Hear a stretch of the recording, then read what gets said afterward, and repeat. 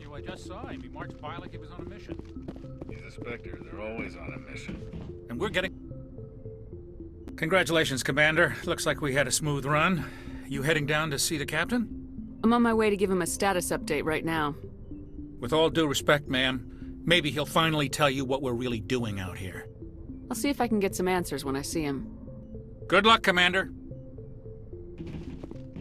I grew up on Eden Prime, Doc. It's not the kind of place Spectres visit. There's...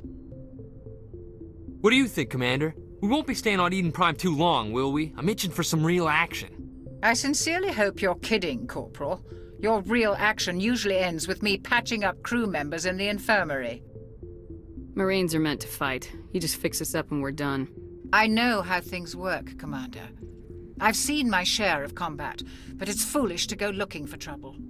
You could both take a lesson from the captain. He's not afraid of combat, but he knows the value of restraint, too. Sorry, Doc, but this waiting's killing me. I've never been on a mission like this before, not one with a Spectre on board. What do you know about the Spectres? Only what I've heard. Spectre agents work directly for the Citadel Council. They usually work alone or in small groups. Spectres don't have any official power, though.